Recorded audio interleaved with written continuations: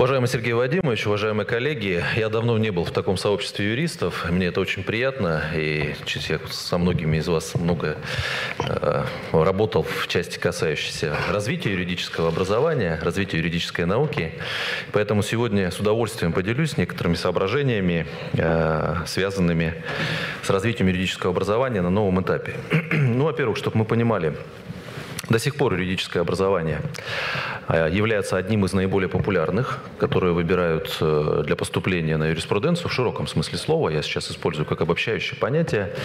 Конечно, больше всего э, до сих пор выпускников школ в топ-5 входит всегда юриспруденция. И мы не можем игнорировать, мне кажется, это имеет и исторические предпосылки, юридическое образование всегда было в университетах, и оно востребовано сегодня. Вторая важная особенность, она состоит в том, что в результате разного рода преобразований, конечно, крен изменился от так называемого классического специалитета, который был там, до 2000, скажем, примерно, ну, по выпуску до 2011 года, в сторону в основном четырехлетние формы обучения, бакалавриата. И если сегодня 400 тысяч человек у нас обучается, то по примерные цифры тому 21 год 70 э, тысяч это выпускники бакалавриата, 7 тысяч это специалитет, и 25 тысяч уровень магистратуры.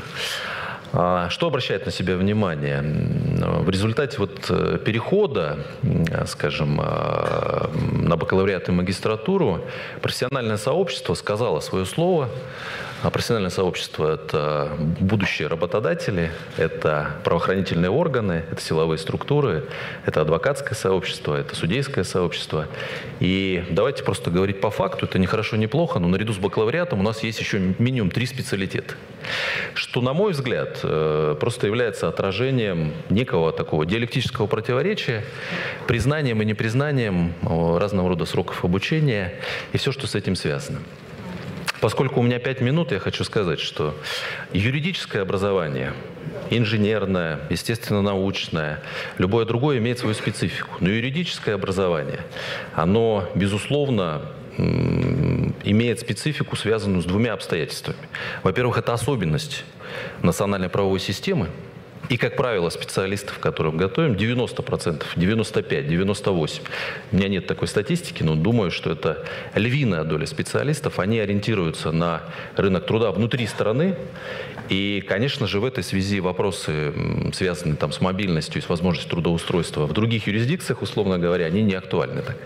Второе – это вопросы ну, без привлечения национальной безопасности. Подготовка юридических кадров неразрывно связана с вопросами национальной безопасности, ибо ну, отправление правосудия, а, осуществление дознания, следствия, а, защита прав, свобод человека и гражданина, которые являются наивысшей ценностью по Конституции, а, работа в сфере, связанной с укреплением основ конституционного строя, защиты, ну, по-моему, для любого юриста это очевидные вещи. И исходя из этого, мы должны понимать, что это, конечно, предопределяет специфику. Теперь, а, переходя к, собственно, а, скажем, к возможным преобразованиям, я на что хочу обратить внимание. Мне кажется, что вот эта история с четырехлетним сроком обучения, она вошла в противоречие с тем, что здесь сидят коллеги, уважаемые деканы факультетов, руководители вузов юридических, руководители институтов в структуре. Юриспруденция – это один из немногих, э, одно из немногих направлений, где количество обязательных дисциплин самое большое. 28 обязательных дисциплин. Если смотреть в ГОС и других направлений, то ну, не больше пяти. Остальная там часть, она так или иначе может выбираться. И вот в это прокрустово ложе, когда, с одной стороны, надо дать обязательный перечень юридических дисциплин и им предшествующих, а, там спорят коллеги, история государства и права, или а, Россия, это юридическая или не юридическая, я в этот спор не буду вступать, но без нее, очевидно, не, не будет нормального образования. И, с другой стороны, срока обучения – как минимум наводят нас на мысль, что э, надо внимательно смотреть, а какому виду деятельности мы готовим выпускника. И не случайно опыт некоторых вузов, того той же Высшей школы экономики, которая попробовала 4 года э, сначала готовить юристов, но потом, учитывая там, а, уровень сложности, все-таки перешли на пятилетний бакалавриат. При этом это тоже не секрет, пятый год в этом бакалавриате они оплачивали сами. А, поскольку нормативного, соответственно, задания не было. Но бакалавриат ведь привлекателен тем, что можно было бесплатно поступить в магистратуру. И в этой связи это как бы, как у нас говорят, немножко преимущество, да? Хотя с точки зрения, мне кажется, э, вообще э, э, возможностей для абитуриентов, неважно, что он заканчивает, магистратуру или специалитет, он должен, вернее, бакалавриат или специалитет, если он хочет получить углубленное образование дальше, он должен также идти и получать в том числе бесплатно на конкурсной основе. Поэтому вектор наших преобразований, он достаточно, предложений, вернее, сегодня, достаточно простой. Мы считаем, что должно быть понятие базового или основного высшего образования, в том числе юридического.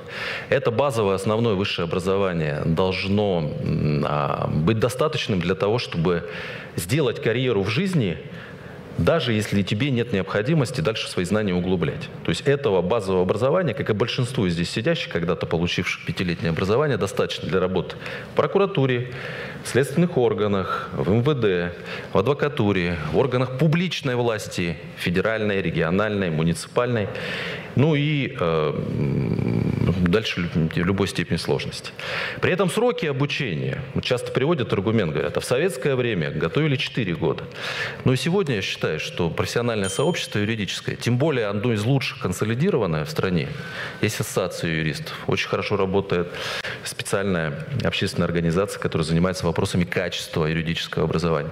Вполне может ранжировать, и даже в одном университете специализированном, либо на одном из факультетов ведущих, почему нет, могут быть программы основного или базового высшего юридического образования разным сроком Э, разным продолжительностью. Потому что мы понимаем, что работать юрисконсультом в небольшой организации – это один степень, одна степень сложности – а работать э, э, следователем по особо важным делам – это другой степень сложности. И, кстати сказать, здесь требования, квалификационные требования к должностям, которые мы должны будем вместе с коллегами э, так или иначе скорректировать. Хотя вы знаете, что сегодня удивительные вещи у нас и сегодня в некоторых, во многих правоохранительных органах вы не сможете сделать с первым, так условно говоря, образованием бакалавра, работать всю свою жизнь, следуя со ступени на ступень, то есть, насколько мне известно, и в прокуратуре, в других, по закону, в других э, правоохранительных органах, силовых структурах. А, для того, чтобы делать карьеру и идти дальше, необходимо иметь образование, в том числе юридическое, по э, уровню магистратуры по юридическое. При этом а, базовое образование юридическое по магистратуре вы не можете получить, то зачитывается только еще и а, бакалаврское образование. Наверное, мы от этого можем легко уйти, сказав, что если у вас базовое а, пятилетнее образование юридическое и учебный план достаточен для того, чтобы подготовить к этому сложному виду деятельности в прокуратуре или в следственном управлении, в органах публичной власти, то э, у вас нет необходимости потом идти за дипломом магистра.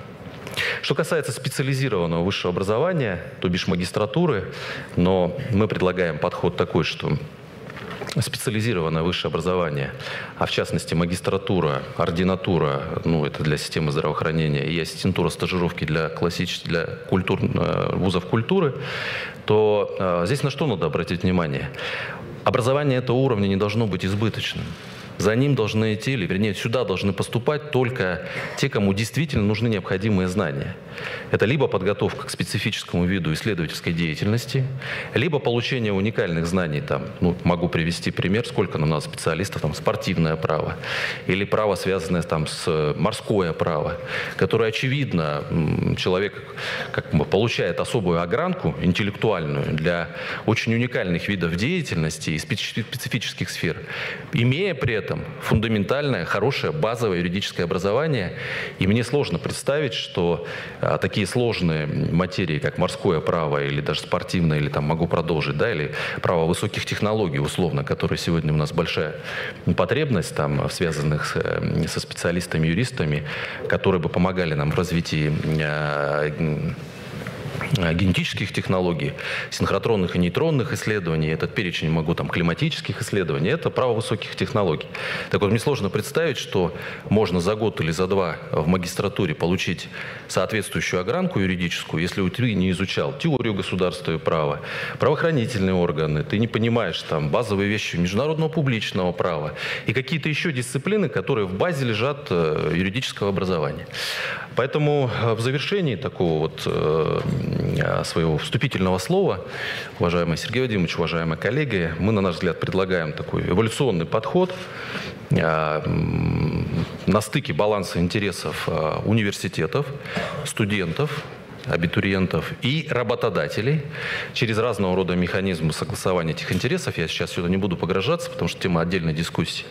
Когда а, будет базовое основное высшее образование – квалификация будет указана не бакалавр, а юрист, потому что работодатель теряется, когда видит квалификацию бакалавр. Причем независимо от того, ты учился по технической физике или по юриспруденции. У тебя почему-то квалификация э, бакалавр.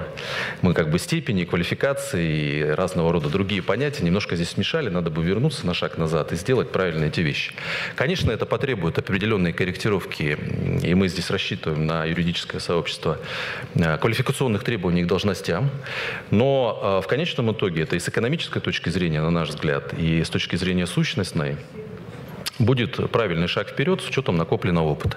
Но специализированное высшее образование уровня магистратуры должно остаться в тех университетах, которые имеют для этого, ну, юриспруденция все-таки гуманитарная, и наука, и э, как бы область такая, поэтому здесь в меньшей степени учебно-лабораторное оборудование требуется, хотя современные методы, мы понимаем, там, допустим, и дознание, и следствие, и вообще, в принципе, вот все, что в этом направлении, наверное, сегодня не помешает юристам много всего знать э, из технических наук и естественных наук, но тем не менее.